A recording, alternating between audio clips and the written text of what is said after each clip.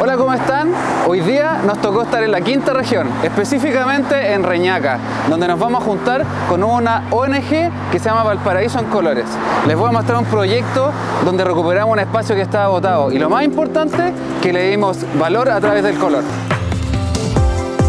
Bueno, les quiero contar que ya llegamos al lugar, estamos en el humedal de Reñaca y les quiero mostrar lo que somos capaces de hacer con un esmalte al agua, pieza y fachada cerecita.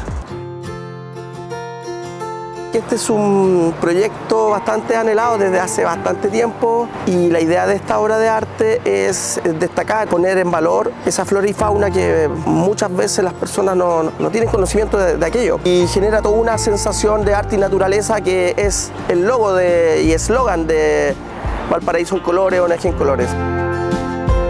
Agradecemos a Cerecita por el aporte en pinturas que hizo acá en, en, esta obra de arte maravillosa creada por Jova y un equipo grande de, 10 ayudantes que tuvo y la verdad es que han llegado solamente buenos comentarios ya que rescatamos un lugar que estaba un poco abandonado. Eh, de verdad que la rompió, como se dice en términos juveniles actuales.